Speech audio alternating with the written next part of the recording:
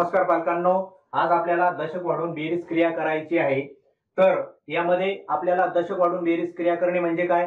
तर एक दशक दोन दशक तीन दशक चार दशक आपल्याला हे एकदम दशकामध्ये मिळवायचे. तर आपल्याला या ठिकाणी उदाहरण दिलेलं आहे एकवीस अधिक दहा.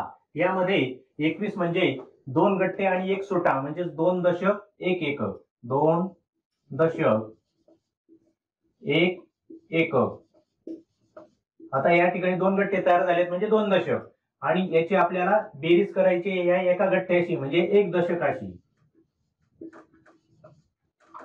आपण एकदम दशक वाढून बेरीज करणार आहोत. म्हणजे या ठिकाणी दोन दशक आहेत आणि या ठिकाणी एक दशक आहे. मग आपले दोन आणि एक असे तीन दशक होतील म्हणजे तीन गठ्ठे होतील. आणि हा सुटा एक जसाच तसा राहील. म्हणजे आपलं उत्तर आलेलं आहे दोन दशक अधिक एक दशक म्हणजे तीन दशक. आणि हा एक एकक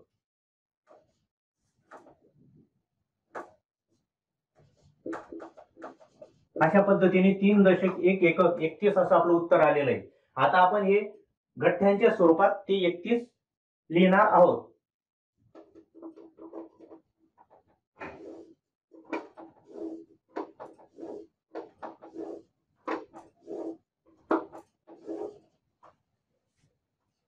एक दोन तीन चार पाच सहा सात आठ नऊ आणि दहा. हा झाला एक गठ्ठा एक दोन तीन चार पाच सहा सात आठ नऊ दहा. हा झाला दुसरा गठ्ठा आणि एक आपण जो मिळवणार आहोत हा तिसरा गठ्ठा दोन तीन चार पाच सहा सात आठ नऊ आणि दहा. अशा पद्धतीने हे तीन गट्टे तयार झालेले आहेत.